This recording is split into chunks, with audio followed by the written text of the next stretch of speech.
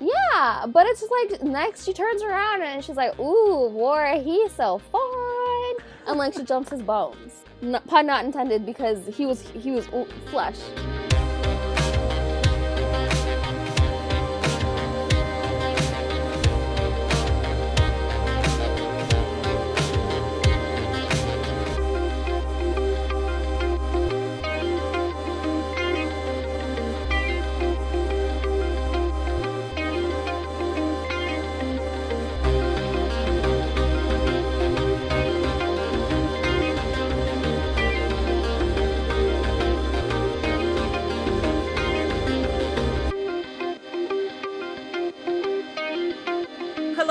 Welcome back to another episode of Romancing the Monsters. I'm S. I'm Seff. And today we're going to be discussing War, the second book in the Four Horsemen series by Laura Thalassa. And do you want to start off with the summary, the blurb? Sure. Okay. So, like I said, this is the second book in the Four Horsemen of the Apocalypse series, which means the world is ending. And in this book, we meet War, who's the second horseman. Um, but before that, we get introduced to Miriam, who is our heroine of the story, and she's a weapons maker. And the story starts off with her seeing War entering Jerusalem, which is where she lives. Um, and she's obviously shocked to see see him with an army of humans that just like follow him on horseback, on like they're running. She just is shocked that he has followers. And he decides to decimate the whole city of Jerusalem. And Miriam and him cross paths, and right off the bat, while they're they're fighting and she's trying to like fight for her life, he also looks at her and calls her his wife in a language that she didn't think she would know, and she understands him completely in his language. Um, and so she is like, "What the heck? I'm not your wife. like that's just that that that ain't it." Um, and so she's taken to his camp, and she's forced to watch prisoners either swear allegiance to war or die. Um, and then when it's her turn, she kind of decides that I would rather die than serve him. Um, and but War won't let her choose death. He's like, "Nah, you're my wife, so you will be alive." Um, so it just continues on like that in the sense where like her and War continue to butt heads on numerous occasions um, because obviously she's trying to save the humans that he's murdering. It comes up time and time again um, in terms of like, you know, their big problem. He just is there to destroy cities and kill people, and she obviously wants to save those people and save those cities, and like things happen, and he just wants her to surrender completely, which means like her body, so he doesn't take anything from her in terms of like, un- he doesn't take anything unwillingly it's time for him to kill people again after they've moved camp. And he's done it. And then for the second time she witnesses it is when she's actually with him. And she decides to go with him and his group of people to start killing off his men and his warriors. So she kind of succeeds in that a bit. And then after that whole time is done she realizes wait war isn't really done yet. And uh, he decides to raise the dead and anyone who's slipped through the cracks, he kills them with the dead. Um, and she just discovers more and more things about him, and uh, she tries to continue to foil his plots and try to warn cities and also try to evacuate cities. Yeah, that's just where it goes at this point. Um, does she fall in love with war or does she not? I don't know. I mean, I do know, obviously. Yeah. So, S, did you like this book? Um, yes. Okay. I loved it. I felt like I read it pretty. I felt like I went through it pretty quickly, even though it was a thick book. Mhm. I also felt that it was darker than the first one. Mm. I don't know if you got the same feeling. I feel like it was darker. Um, I loved Miriam. I loved how strong she was. Yeah. I loved War. He had like a really filthy mouth. War was dirty. yeah. Um, I love the fact that he kept calling her wife as well. Oh my gosh, I right? It's like it was it's so primal and like so barbaric, but like every time he called her wife, I was like, okay. tingles, tingles. um, but I will say that even though it was a thick book, for me it felt like, which I don't think it's a bad thing, but I think it was a little bit repetitive Okay. in the sense that not much happened. Like War went off to kill people, and then he would come back and sleep with her, and then it just it just felt a little bit repetitive for yeah. for the thickness of the book for how long it was. Um, but I don't think it was a bad thing. What about you? What did you think? Did you like it? Did you... I really liked it. I enjoyed the the story. I enjoyed Miriam as a character. Even War as a character at times, I really enjoyed him. Mm-hmm. But like your repetitive comment, I I agree with that. But I also feel like maybe it was him trying to um, remind himself, like I guess remind the readers also that he is inhuman and like he has a duty. Mhm. So like maybe like the constant killing was kind of to show that. But like I do feel like they showed a lot of cities being decimated quite a lot. Like there were just so many instances of that, but I feel like it's probably him showing that he isn't human, which we already know that. Um, and I did like his character um, because of how different he was from Pestilence. Like I didn't want to go in comparing him with Pestilence, which is the first guy in the first book, Mhm. but um, he already knew humans. He already knew like their ins and outs. He knew like their minds, their everything about humanity, and like he knew them. And in terms of like Pestilence, he was learning humans, learning about humans through Sarah's eyes. That was her Mhm. name, I believe. In this one, War drank, War had sex, War did this and this and this, and Pestilence was learning about all of that through Sarah's eyes. So I thought it was really different to see a four horsemen of the apocalypse already know how to do or learn how to be human, Mhm. and we got it with War. yeah. I did end up comparing them a little bit throughout the Yeah, right. yeah. Did you like have any comparisons that you like wanted to pull out between the two? Um, I just felt like Pestilence was more, well, more naive, of course, like how you said, like he was learning through Sarah, and I feel like War was more brutal and maybe more honest. The way they regarded sex, and I know like this is just like very like a basic, but Mhm. I just thought like with pestilence, he didn't really.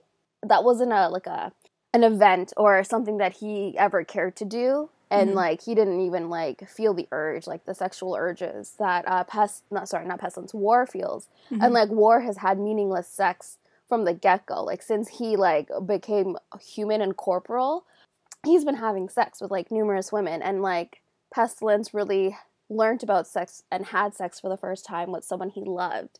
So i thought that was also interesting because like war finally got to experience that like love making with someone he does love. Mhm. and I just like to see like the difference between the two because I feel like as an author, like you can somehow like fall into the trap of making these books very similar, and um, because they are like the same characters basically with just different functions. So I liked that this book felt so different than the first one, despite it kind of being an apocalypse story.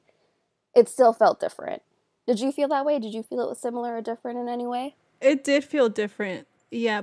And I want to ask do you think the fact that War had sex like from the get go, do you think it was because he kind of witnessed pestilence even though he was asleep? It wasn't that he witnessed. War had said that um he has been with humans from the beginning of time and like he's just been watching humans you know? He's the one that i guess inspired war and all these kingdoms and like he's like not whispering in like people's ears but like he kind of is the one that gets the ball rolling. He's just been with humans for so long and this was his first opportunity to be amongst humans. Um so i think just because he's been around for so long he knows humans. Like he thinks he knows humans. He knows the worst of humanity for sure. Yeah. what did you think about um war and his like sudden belief or not even his sudden belief like he knew miriam was his wife and he see like he said that it was because god himself made him made her for him and like sent him, her for him? How did you feel about that? Like I thought that was interesting at the fact that he saw her and recognized her as his wife because of the mark that she had. I think like on Yeah. her chest. but if it wasn't for that mark he would not have made a connection with her Do you think it, this was like God's plan to kind of I don't know, kind of get him to to like reevaluate Yeah, like I feel like maybe God has like a plan not just for the humans but for the horsemen as well. So he kind I feel like he was kind of testing war and putting Miriam on his path. Yeah. I do feel like um in terms of like this story, um so basically there's four horsemen that means humanity has four chances to prove themselves. Um I do think God in this world had like maybe planted someone in each horseman's life to make them question humanity maybe question their like idea of what humanity is actually like. And I do think Sarah was pestilence mate and I do think Miriam was war's mate in terms of like their differences and like the way they viewed humanity and things like that and the way they made they the way that they made the horsemen question themselves i also feel like god had that plan for them. Yeah yeah i felt like that too. So do you think back to your question what were your thoughts on miriam being his wife or being marked by god? I know like i don't want to compare pestilence and like war again but i just feel like in this instance war like you said is very brutal and very like rash he doesn't mm-hmm. really seem to think things through um, and he would have killed Miriam if he didn't see the mark on her neck. And there yeah. went his romance. There went his soulmate. And I do feel like he needed to have that like epiphany or like that idea that maybe I have a wife out there in this world and oh whoa, it is Miriam. Miriam is my wife. Um, where in terms of like pestilence, Sarah had like tried to kill him and like he was unconscious for a while and then he also had that epiphany and saw like God's will or whatever on her. So I do feel like these horsemen need to have someone holding them back, and that someone is God, um, because then they would be killing their mates. yeah.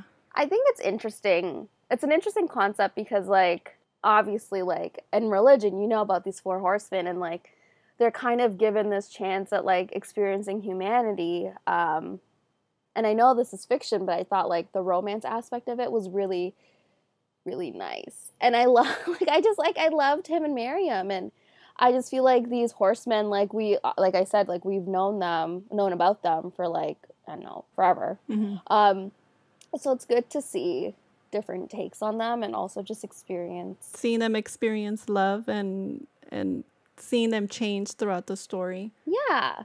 I agree. And like I don't know, I just feel like where war started in the beginning of the book obviously is not where he ended up in the end of the story. And I just feel like every being should have an opportunity to go through a change or like to experience something that's different that teaches them how to love and be loved. Yeah.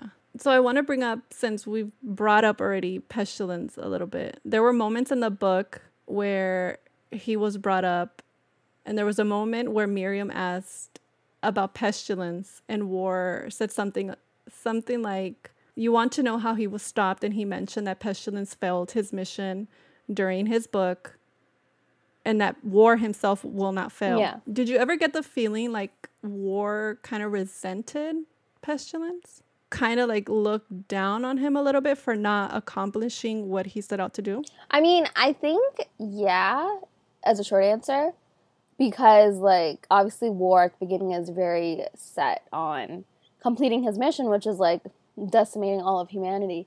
Um, and maybe he felt like pestilence did fail because like he never experienced that love or like that connection with someone that pestilence had. He sacrificed his mission his immortality that we find later on at the end of this book to be with a, a woman like a human person and have a family and raise a family and just be a unit with someone War doesn't understand that concept. He kills families. He kills little children and old, like elderly.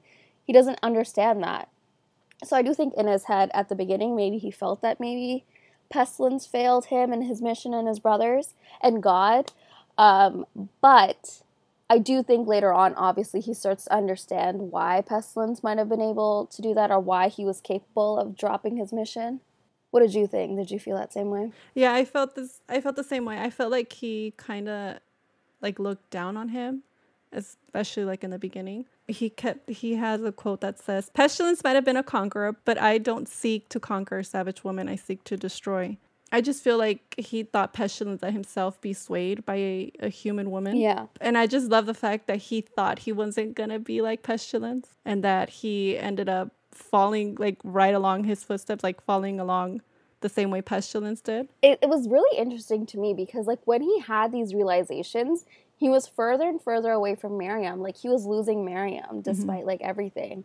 Um, because of like all of his killings, raising the dead and like killing children and like letting his men go thief and raid and rape women. Like he just like he just there just wasn't like he just kept losing her and like also, there's an instance where he decides to let Miriam join him on like his excursions, I guess, um, to go and kill people in these cities. And Miriam is joining him, and then he's like, "Wait, you thought I didn't know what you were doing? Like, I know you're killing my men." And then like Miriam has this like this thought, and then she's like, So first she thought she's doing good because she's like killing the men that are killing innocent people. Um, so basically she says, every single person I kill is one less person living on earth. All thoughts of respect resolve, sorry, dissolve away as an acute sort of devastation sinks in. I sway a little on my feet, and for a moment I think I'm going to be sick.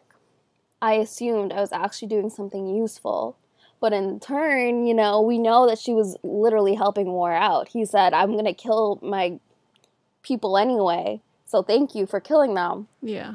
So she thought she was trying to save people. But do you think do you think that that she was doing bad? No, of course not. Because she was killed. I, I remember there was a moment where uh, a a woman was being attacked, and I think along with her kid, or she was gonna be raped, and she ends up killing him. I don't know. I don't think sh- she was doing bad. Like I see where she probably thinks that she's helping to kill people, but she's killing people that are killing innocent women and children. You know. So I don't think what she was doing was bad. No, and I don't think so either. And I think we also should acknowledge that, like, before she met uh, War in Jerusalem, she also had killed people before. Like, she's a weapons maker. Like, she had a tough life. Like, she lives in, like, the heart of Jerusalem. Her life wasn't easy. And then, um, so basically, she has already killed people. And, like, right now, she feels like she's killing an evil. She's killing these human soldiers that are just killing innocent people who are raping innocent women. And I mean, she thinks she's doing something useful, which she kind of is, but then War turns around and says, Actually, you're just helping me along because I'm going to kill these people anyway. So I think that's what kind of hit her. And that's like also what kind of hit me because you're like, she's trying to help these people, but like she's helping War instead. She's helping her enemy and she doesn't even realize it. Miriam and her fight for humanity, like, I honestly feel like her character was like so well written because like she could be like I guess interpreted as someone that's like, you know, the hero or like, you know, just wanting to like achieve greatness, but in reality she just wants to fight for humanity and wants to ensure that humanity survives. And like like I said, we even like we've said that she joined on the raiding, like raiding and the killing of people, but she also like never gives up and like she gives War her first kiss um, sorry, they have their first kiss. It wasn't her first kiss. In exchange for him to not destroy the aviaries, which is like where the birds fly out, like the messenger birds. And like she achieves that, and then she obviously has to pay up her end of the bargain and like obviously make out with war. But she still like would give things up just to help humanity just in the smallest, smallest instance. What did you think about her exchanging like kisses and like sleeping with him in order to kind of save humanity or like to give her a chance to kind of warn people? How did you feel about it? I mean, if I was in her position, I think I would. I mean, if I'm putting myself out there to save humanity, I think I would kind of do anything. I mean, I, let's be real. This girl was not trying to be noble and not trying to save humanity that night. She just needed an excuse to not feel guilty about wanting to kiss hot ass war. War, yeah. Yeah. Yeah. I mean, same. Same, Miriam, same. But um, I know. All this just to say, if I was in her position, I think I would do anything in my power to help. Yeah. I mean, I would love to say I would too, but I would also probably be dead. I just feel like war is so scary. Like he was hot, but scary. Yeah. Do you think you would survive, like in this setting of war of the Four Horsemen, where they're at? Where? Okay, my one gripe with this book, and I don't know if you agree with me on this, Miriam's acceptance of like the zombies freaked me out because I would honestly never be able to forgive war, despite that being inside. Like that's who he is, like raising the dead is one of his powers. I could never. And the fact that she let them be her guards or like let them walk her back to camp or like just let them be there. I was like, mm mm, mm mm. I was not. That was disgusting. I didn't. I actually didn't give it thought. I just I thought that was interesting that he was able to raise the. It was it was, it was interesting and it was bad why he would raise the dead, but I mean they protected her, kind of. Yeah, but I also feel like um like it was interesting, yeah, but I also feel like it was disturbing. Like it was it disturbed me so much. I think this one, you know how in the old like the the first book it was what was disturbing for me was like the children dying or like these innocent sweet people dying that we got to know. In this one it was more so like him disrupting these people's graves. Like they lived a full life or not even a full life at all and like they've been resting and then all of a sudden you raise their bodies up like I understand in like in this world and like in this context they're just shells and like they're not there anymore. But I do feel like it was just disturbing because like they were once people and they're not people anymore. They're just I didn't I didn't think of it like that. Now that you say that you mentioned oh. yeah, that is that is disturbing. Yeah. And like Miriam, I'm sorry girl, war can only be so hot. I would not be able to like stomach it. I couldn't. And she did say that it smelled pretty bad too. Yeah, but it's just like next she turns around and she's like, "Ooh, War, he's so fun," and like she jumps his bones. Not, pun not intended because he was he was flesh, living, yeah. you know. Yeah. Um, but yeah, and like he would just use the dead to like scare her, and like she would be walking away, and he would just raise the dead, and she obviously couldn't go anywhere because she didn't want to touch them. But it's just like Mm-mm. I could have done without. I could have done without that. okay, Sam. Same. Same. So, in the book, Miriam gets brutally brutally attacked by yeah. War's men, which are actually humans, right? They're not actual. They're actual humans that joined his war, right? Yeah, they're his like elite group of people. Like they. But they were once human, right? Like they're they were actually they're humans, basically, right? They're humans. Mm-hmm. So uh, there's a part in the book where she gets brutally attacked, and it hurt my fucking heart. Um, where Miriam yeah. asks War, "Why did they do it? Why did the, why did those men attack me?" And he goes, "Men's hearts are evil." And then she goes on to question, "I don't, I don't have it in me to disagree. I hate the horsemen, I do, but right now I think I might hate my own kind more." Were we always this way, this cruel, or did the four horsemen that rode onto earth make us like this? So I guess my question my question would be, do you think who do you think is more worse in this book? The human or the horseman? I do feel like the humans we do get to experience like obviously like in terms of like the romantic lead um, is the best of humanity. Even Sarah was like that. She was the very best of humanity. There are like hum- like humans that are awful, disgusting, poor excuses of humanity. And I think in this book, Miriam experienced the worst of humanity as well as the best um, in herself. But I also feel like maybe like the horsemen weren't wrong in the sense where like some humans need to be checked, but obviously not all humans. And it just sucks that the innocent are suffering alongside those, you know, that are evil. Do you you don't think like the humans are in their right to act this way because of what's going right. on? Yeah, like the horsemen came in and or do you think these these humans are they were already evil and they're just looking for revenge and Exact. No, exactly though. But the humans that he has in his elite guard, I forgot what they're called they're considered evil. They're awful, and he knows that, but he knows that they're so brutal that they don't care, that they'd kill anyone. But he keeps them close and he keeps them as his guard. That could be it, you know, like they're just evil. But I also think we should mention um, after this instance where Miriam gets brutally attacked, he forbids raping or like plundering or like assaulting people that are unable to fight back. And um, before that, that was never really a rule. So it was only when Miriam got attacked that like little notch of humanity got like I guess awoken inside him. In, within war, yeah. Yeah, and so that's when he decides that raping is not going to be a thing, and attacking people that are, you know, unable to fight for themselves is not going to happen. So I thought that was interesting. And do you think that only happened to awaken that part of humanity inside war? I think it, it didn't need to happen because that's it's horrible no. for someone. But it it happened in order for him to kind of wake up and kind of see what the hell is going on, what his yeah. people are doing. But I also felt like it also made him more certain his mission as well. Like he's like humanity is awful. They're capable of raping or like attempting to rape people. Um, so they all deserve to die. And I don't know. So I think it probably awoken something in him just to protect her and only her. Yeah. Right. And he only he only protects her and only attempts to save her. And obviously, it's because she's his wife. But I mean, he even says, like, her heart's good enough. But, like, I, if she was anyone else, she would have died.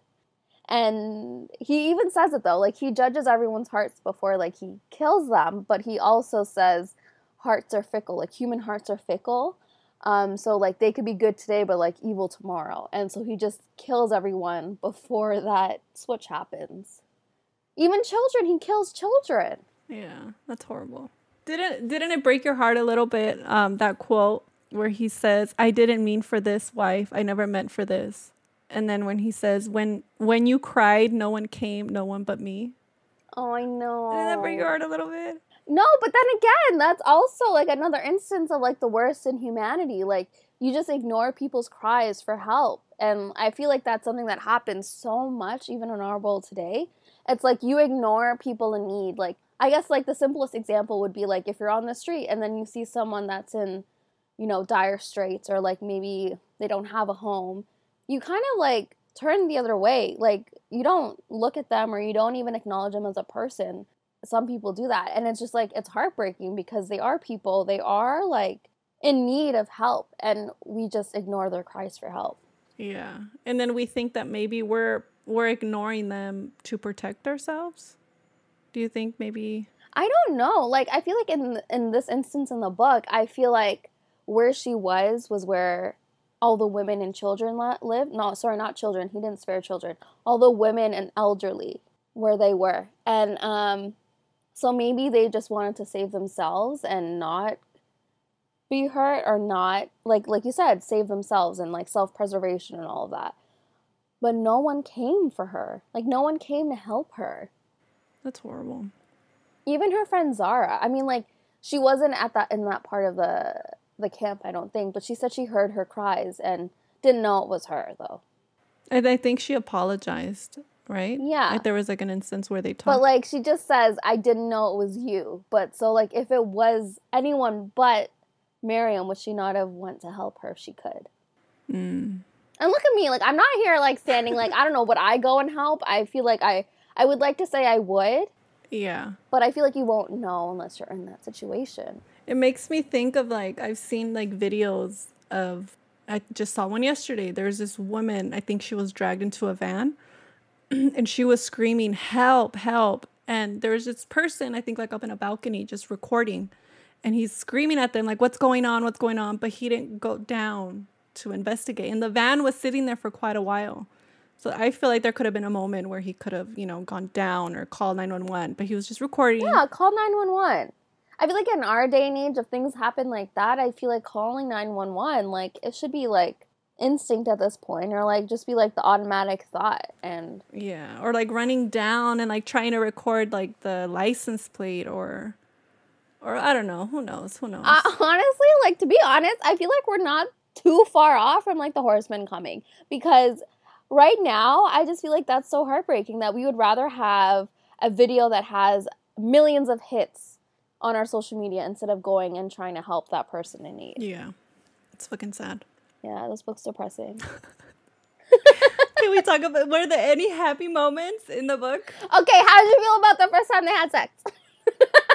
um, yeah, it was hot. They were hot. He was hot. His mouth, yeah, I died.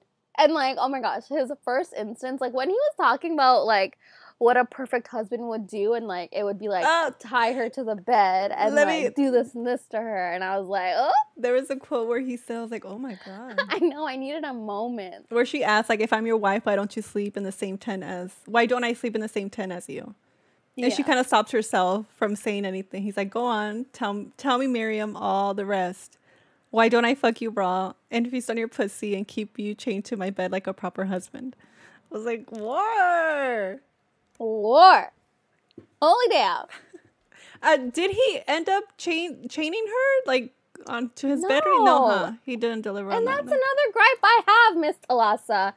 Yeah. Don't promise me a bondage scene. And even Miriam was into it because she said something about chains, and she's like, "Ooh, like she was disappointed that he didn't chain her to the bed." And then he was like, wait, what? And he was so intrigued, and she was also excited for it, and it never happened. So hopefully, within the next two books, we get a little some some. I, do, I like. I'm curious about famine, but I just feel like that death is gonna be cruel. It's like you're being starved to death. Yeah. Whereas I feel like war was just like instant death, you know? Like it wasn't no struggling, no suffering, you just died. Do have you seen where Famine's book takes place? Uh no, I haven't. But people really like that one too. So I'm curious to see if I'll like it as well. But I feel like War, I liked it a lot more than the first one.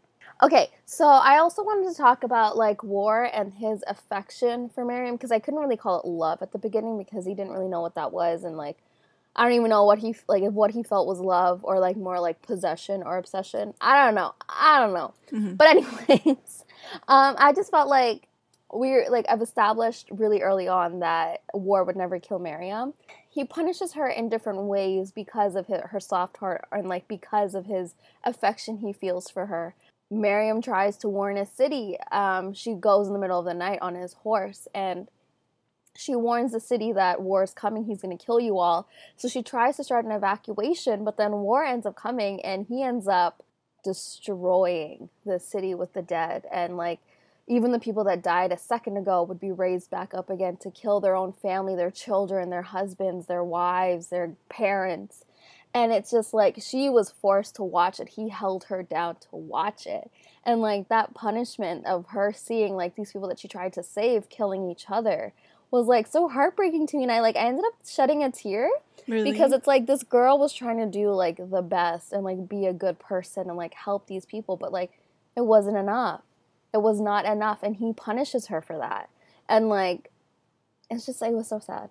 No, and it's horrible. Um it was horrible. But didn't he promise himself that he was going to give her a chance to kind of use the aver the aviaries? Or did he just promise the fact that he wasn't going to destroy them? but not. He just promised he wasn't going to destroy it, and then he also said he wasn't going to stop his his soldiers from killing the birds leaving the aviary, but he wasn't going to tell them to kill them. You know, like it was more so if they killed them, they killed they them. They killed them, but he wasn't going to stop it. So Miriam had taken it upon herself to go first to the aviary and try to get a message out. And she did. I think it did make it. Yeah, it did. Um but I just like I don't know, like war and his like feelings to Miriam and like his punishments. Like it did never stopped. And like Miriam is a strong woman. Like I would have broken so many times. Like, mm-mm. And then okay, so I don't remember. Was it like okay? So she tried to like kill him. She knows that he wouldn't die, but it would like put him down for like a few hours or like a few minutes, whatever, mm-hmm. so that she could run away. And then he comes and he gets her. No, what happened was she couldn't kill him right? She couldn't kill him. And he's like, oh my gosh, you were going to kill me. And so she failed at doing so. And to, to punish her, he kills everyone in the camp in front of her. Yeah. All the people that she got to know. I was so sad. And I, I thought he was going to end up killing the friend and the little boy. Oh my gosh, me too. And imagine if he would have done that like as punishment i i don't think i would have forgiven him like i think that would have gone as, too far let me tell you, I I honestly felt the blood leave my face really? when that was happening and like she's talking about like these women that I like would smoke and gossip with me are just now dust, like mm-hmm. they're dead. These men that, you know, like were there and were doing things and like she was like heart like her heart was breaking, like my heart was breaking because I was like, we knew these people and like he's killing them and it's just like I'm happy he spared Zara and Mahmoud because I would not be able to forgive him, and I don't think Miriam would have been able to forgive him either. Just like Pestilence in his first book, something happens. I don't know, remind me. Something happens where he ends up stopping, right? He completely mm-hmm. ends up stopping. And in this book, he ends up stopping as well once he finds out that she's pregnant. Yeah do you think that was I don't want to say if that was enough, but do you think if she wouldn't have gotten pregnant, do you think he would have ever stopped? Um, I think he would, yeah. Um, simply because with his actions, like going back to like what he did about like, you know, killing people in front of her, making her watch and like making her like experience their deaths, I think his actions were pushing her away and like it was causing her to go in like self-preservation mode and like he was losing her. He was honestly losing the warmth that they felt for one another. He was losing like her love, her caring, like her caring side. He was losing it all and like I do feel like he he knew what it felt like and he was losing it. So I do feel like eventually he might have stopped and like given up his his fight.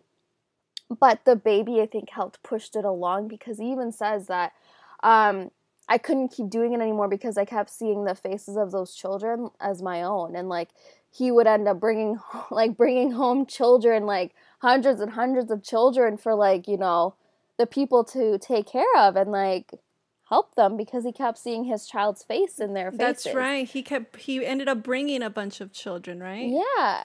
And then it didn't stop there. He started bringing the elderly and like they kind of stopped killing altogether and he left this whole new, I guess, group of people. He just left them to start a new life because he's like I'm done killing because I'm having a family. I know what it means to lose someone and I don't want to experience that. So do you think that that was enough for him, like and like forgive everything he did prior, e- like to easily forgive him? I think if if I was in that situation, I think it would have taken me a little bit to be like, we Yeah. we're good, war. Like you I did mean, a lot. if you think about it, also Miriam was scared, and she was scared that he would kill his own child, so she ran away. And he was like, "You would think that I'd kill my own family? Like, are you crazy?" And then she's like, "Well, you've killed so many innocent yeah. children. You've killed babies." Like, yeah. yeah. So I do. I don't know. I just. In terms of war and like I guess his redemption story, I feel like we can't really we can't really judge him based on our own moral compass and like what we deem right or wrong because he isn't human. Like he doesn't he doesn't he wasn't raised with the same ideals that we were raised. So I don't think that you could judge him with the same justice system we have.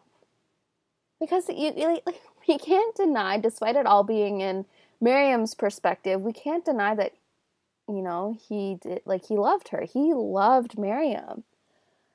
And it might might have been in his own way since he was learning love through her and like through her eyes. So I don't know. I feel like he did a lot of questionable things and unforgivable things, but I also feel like that's just what his purpose was. His purpose in this world was to kill people and like he got his purpose from God. Like he thought he was doing he, he was doing his duty. At the end of the day, he was doing what he was set to do. What do we think is the monster of the story? Do you have any monsters for Miriam? I wouldn't say it was a monster for Miriam, but more so like a monster between the two of them. Um, I think it was like their lack of communication and like not like the stereotypical way, like oh, um, miscommunication or something. It was just like both War and Miriam suffer for not being able to talk things through, and I feel like that stemmed from obviously her being human and him not being human, and like she had human mentality and like obviously like he's unable to understand that and he has a duty he was created to do.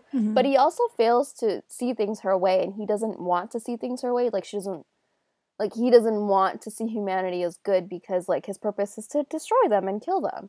Um, and she obviously doesn't want to see people die and that's his whole purpose. And when he says he judges all people she doesn't listen to him really Mhm. and I mean, like, why would she listen to him though for like judging everyone? Because he says he judges their hearts, but then he ends up killing everyone since human hearts, like I said, are fickle and can change Yeah. with the tide.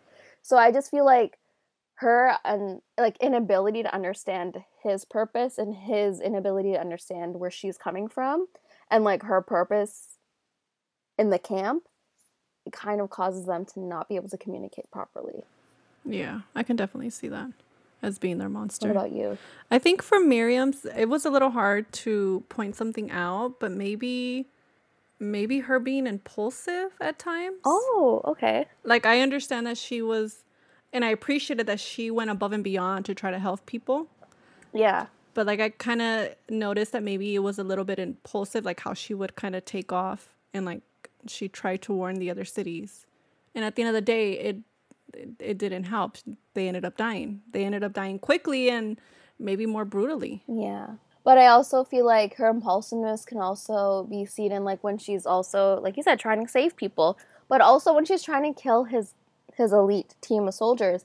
She even jumps into a burning building to lose the guy, and she ends up almost dying to kill this one person. So yeah, she's impulsive, but it's more so like I guess a self-sacrifice notion. You know, she's a she's a martyr. Yeah. she wouldn't care if she died saving someone, and like and also, uh, I had War his perception of humanity, which we already talked about. And like, it was like him being at the beginning of time with humans, and like, he just knows the hearts of humans because of like how long he's been around and his ability to judge them. And he's just extremely jaded when we meet him in this book, and he's he's lived his own experiences with humans, and he believes humanity cannot be saved because of his past experiences. And then, like pestilence he comes here, but he's lost that humanity, like that innocence that Pestilence had throughout his whole book. And yeah, so basically it was his perception of humanity, which slowly changes with like Miriam and his love for Miriam. How did you feel about the pregnancy, uh, you know, announcement? I feel like we kind of just like talked about it. We didn't like talk about the pregnancy. Did you feel like it fit into the story? Did you feel like it, you were expecting it? Um, I mean, once she, because I think they mentioned earlier, she asked him something along the lines like, "Can I get pregnant?" or something like that, and he's yeah. just like, "No." Like, but once they mentioned that, I was like, "Okay, I feel like she's gonna probably get pregnant later on." And then when she started like throwing up and all that, how did he not get anyone else pregnant though? Because he just says because other people weren't his wife. I don't know she because like he one. just says like why would you think I'd have bastard children running around everywhere? And then she's like okay fine, I won't bring it up again. But like he got her pregnant, so I'm just confused how that how that works. Maybe you have to be in love. I don't know. I feel like maybe it was God's plan. True. Right? Yes. That in yeah. this world, it was God's plan to kind of like yeah. I feel like he's testing everybody, humanity, and I feel like he's testing the four horsemen. And okay, we're not even talking about the ending. Oh, yes. what did you think about that whole him being attacked and killed and then Okay, let, let me let me set the scene. Let okay, me okay, set okay, the go. scene. okay, so basically, um, like we said, he decides to um, stop the killing and stop the judgment of humanity and just mm-hmm. live his life with Miriam he doesn't tell his elite soldiers that he's going to do this, so they decide that they're going to capture him and kill him because they don't want to die, and they obviously don't know War's plan to release them. Well, we don't even know if War planned to release them or kill them because they are um, the scourge of humanity. So they decide to capture him, behead him, and then surround him in a hole with bombs and one of the people that also decided to do that and work with everyone was her friend, who she thought was her friend Hussein. And it was like for me, it was kind of like I was shocked because like Hussein was always like like a sweet guy and like he always like yeah. warned Miriam of things that were going on and like helped her whenever he could. So like I don't know. I guess in his eyes, he thought he was doing good. He was trying to help humanity. I felt the betrayal. I was I wasn't expecting him to to do all that, try to kill her. Maybe he thought like he was helping humanity because he obviously wasn't privy to what was going on with Miriam and and War. He wasn't aware that War was planning to stop killing. So my girl Miriam becomes like this intense warrioress and like kills all these like soldiers. And like she yeah. finds his body and he's decapitated and he's surrounded by bombs and like it was stressful. I was teary eyed, and then um, things go boom, and she dies. This is where I'm saying she was very impulsive. Like, she could have, well, maybe she couldn't have, because if he would have regenerated and then come back, and then there would have been an explosion regardless right because you know how he was in the in the hole with the bombs and everything yeah. and this is where i think it comes in where her impulsiveness comes in yeah like she could have waited for him to regenerate yeah. and then come back but then again, if he would have regenerated, the bombs would have gone off. And exactly, and they would have just kept going off. I mean, I feel like if they waited maybe a week or two, he probably would have been all bombed out and like would have regenerated. But I feel like it just like is a, a testament of how much she grew to love him and she couldn't live without him. And I feel like as readers we kind of get to see that because like we know him as like this epitome of evil that slowly found his humanity and like we like she learned to not be ashamed of her love for him i feel because like she always tried to like bury it down or like be ashamed of like what she felt for him um and she never told him she loved him despite war telling her i love you like uh, numerous times she never really said it to him and like she had that moment of regret she's like i never told him i loved him and like i guess that intensity or like that that feeling she had of like desperation i guess you could say she never got to tell him so she wasn't really thinking rationally i think at that point I kind of wasn't. I kind of wasn't expecting that she was gonna blow up. me either and like when he's like i held what seemed like her torso i was like she's gonna Yeah. magically come back together and be like a whole person Yeah. and then he's like he started s- crying and sobbing and i was like wait war is crying and sobbing like what Yeah. I couldn't handle it. It was so sad because I was like, this man is like this. He's not even a man. He's like this godly being who's Mhm. sobbing over this human who would he would have killed if she wasn't his wife. I just felt like that's when you kind of realize he's come such a long way. And then so she dies, and then he goes to his brother Death, Thanatos, and he begs his brother to bring her back and like he wants her. He's like, I don't care. I just need her back in my life. And not only do I need her, I need my baby. And we find out that it's a hmm. little girl that she was pregnant with. And then yeah. Death spares her. And we finally find out what happens when they like stop their mission. They become human. Oh yes. Yeah, they become human after their mission. So that means pestilence is human. Now war is human. And I'm just like, I'm happy. I'm happy we finally know what happens at the end, you know? And then Pestilence and Sarah have they have kids like multiple kids, right? Yeah. I don't know. I just thought like it was great. And like what I also really liked about this um was it was kind of like a metaphor. You're like, you know, becoming human. It's like it's gonna sound really cheesy, okay. But like love makes us all human and like we become vulnerable because we choose to share our lives with someone else. And I feel like Mhm. that kind of happened with War as well. Like he becomes vulnerable because he starts to love. He drops his mission because he starts to love and be vulnerable with someone else. And like it was a great metaphor for love. How did you feel about the ending?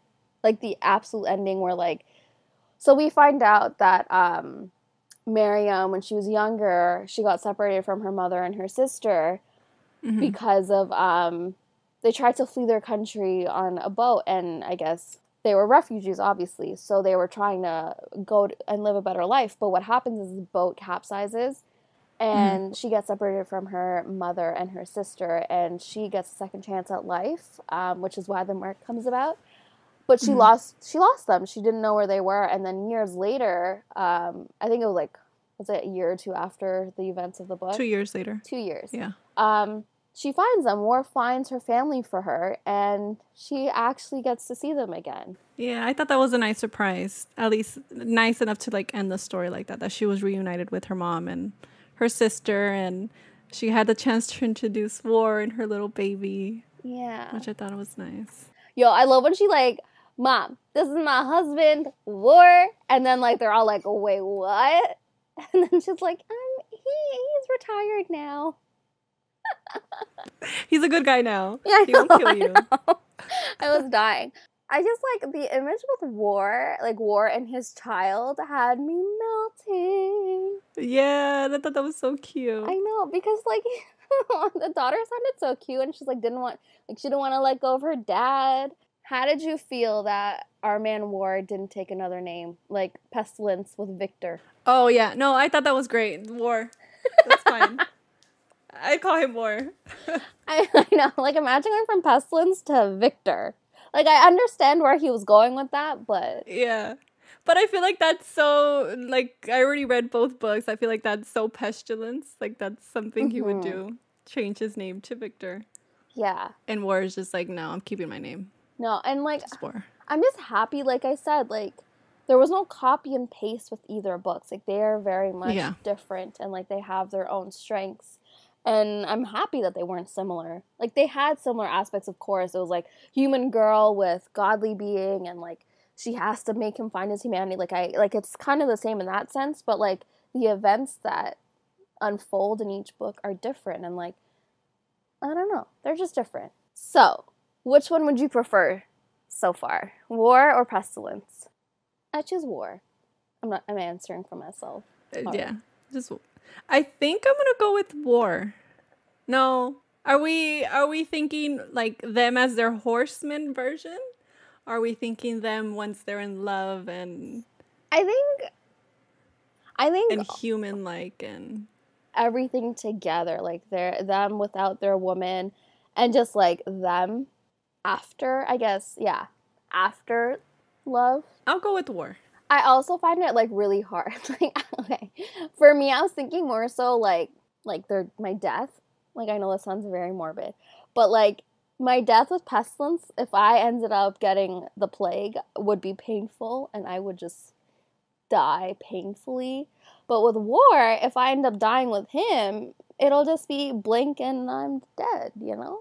But then it, I might be risen as like a zombie. So, so are you asking what form of death we would pick? No, I don't know. I was just thinking like yes, of course, I would choose war because he's like hot, like he's great, he's a great man by the end of it. Yeah. Sure. But I'm thinking more so like if I have to end up dying, like what in case I betray one of them, you know, like pestilence or war, like I betray them, you know, if something happens, I don't know. Anyway, so it's my yeah. time to die. And then, which death would you prefer? I would prefer war. I, this is so morbid. I think we just need to stop this. Would you prefer to be attacked by zombies, Seff? Oh my god. Would you prefer to be attacked by sickness? But the sickness was painful. Remember? Slow, slow death, or it was like you have boils and like they itch and then uh, no. I choose zombie death.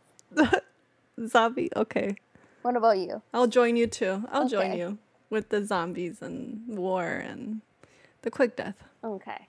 And okay, do you think this book could be read as a standalone? No, I don't think so. You think you have to read the first one and then read this one? Yeah, especially because of the way they mention pestilence and how he was stopped and like I don't know. I th- I think you would need to read the first book just to get the whole picture. I feel like if you don't mind missing out on like what pestilence was like how he became the way he was and like how he I guess quote unquote failed his mission, then I feel like it could be read as a standalone to be honest because I feel like they mention pestilence but it's not like needed for the plot of this book. But I do feel like if you want to experience like the fullness of the story, I do feel like you need to read book the one, then book. book two. Are you uh, are you going to be reading the third one anytime soon? Uh, I think I'm going to wait a little bit and then yeah, dive in. Yeah. What about you? I agree with that as well because I just I still feel like these books are so heavy. Like I've read dark romance, I've read um Tillie Cole where like they're serial killers. Like I've read dark romance, but I feel like for some instant, like for some reason, these feel heavier to me and I think it's because all the innocent lives that are being taken away and like the way that they go. I don't know. I just find it so hard to read. So, so you think it's a little bit heavier than Tillie Cole's? Oh, 100%. I do feel like this is heavier. Even even with reading like the the novella, like the beginning, the prequel, when they were kids. Okay, yeah, like, that's a whole that other together, like, like. Mm, okay, we're talking about um, the Deadly Virtues series by Tilly Cole. The novella is how they become who they are, and they obviously there's a lot of uh, things that happen. Trigger warning, there's rape of minors, there is brutal like tortures and beatings and things like that. It's brutal like that the novella, but I just feel like I don't know, there's some like there's a heaviness that I feel with this series. And I don't know if it's just like um, the first book I thought it was just because of like the coronavirus and like what we're suffering through right now and like we're kind of getting out of it but not really. But I thought it was just like the resemblance between uh, like what was going on in that book versus what's going on in our society. But then I read this book and then I'm like, sure, wars are happening right in this area where the, these books are taking place. But I just like for me it was like all the innocent lives being taken and like the deaths, raising the dead. I don't know. I found this book really heavy and like it didn't sit well in my heart. I don't know if that means anything. Whereas Tillie Cole, I feel like they're heavy they hurt, but they're fulfilling in the end. Whereas all the innocents that died in this book, it wasn't fulfilling for them. I guess you can look at it as yes, it's fulfilling because they went as War said it, they went home, but they just didn't live a full life on this earth. And it's just so sad. And now I'm going to cry because it was just so sad. Don't cry, Seff. Don't cry. no, yeah, I get what you're saying. So I need I need to put a few months buffer between me and the third book. Anything else you want to mention? I am excited for Death. I think he sounds hot AF and Yeah. I am curious to see what his book would be like. I hope it's a I re- for for his book, I hope it's a thick one. Like I hope it's like really thick. Ooh, you want it thick and long? Thick and long. Yes. Cause it's the last book and we've had like such a build up. Like we all had like little moments of him. Yeah. So I I don't know, I expect I expect a lot of thickness. You know what I mean? Yeah, and length and girth. Um, I agree. And he also has wings.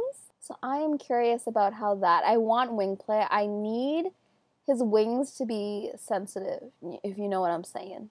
Other than that, I think his I think all the females, not all, there's only two that I've read from the series. They're all amazing. So I'm hoping his woman's also amazing and I hope Famine's woman is also amazing. I do think the writing is really good. So like if this is a series you haven't really thought about picking up, I know we kind of spoiled the whole thing. If you are listening to this and you haven't read the book, I mean, Yeah. that's great. But I also feel like if you haven't read the book and you want to read the book, I do feel like the writing should be acknowledged. I think it was really good and like it does Yeah. despite it being only one person, um, first person POV, it does encompass his feelings as well. Like I still felt his feelings. I just did want to mention like the beginning of the book, it happened in year 13 and then when famine awakens, it's year 16. So all that that happened between them, between War and Miriam was 3 years, right? Yeah, so um so obviously I think it was like a, a few months maybe in terms of like the events of the story. But then the two year jump when she finally meets her mom and sister, and then after that, yes, war. Not war, sorry, famine awakens. Famine wakes up. I thought it was funny that um Miriam kept commenting like how young War was because like he was like I think only awoken for like two years or like a year or two. I don't remember. And like she was like, I'm like twenty I think she was twenty one or twenty two. And like I don't know, I thought it was funny. It was cute. Any other comments? Um no. I think I think we can close up. So that has been our discussion on War by Laura Thalassa on Romancing the Monsters. I really hope you enjoyed it. You can find us online at Romancing the Monsters Podcast on Instagram, at the RTM Pod on Twitter, Romancing the Monsters Pod on TikTok, and you can also email us at romancingthemonsterspodcast at gmail.com.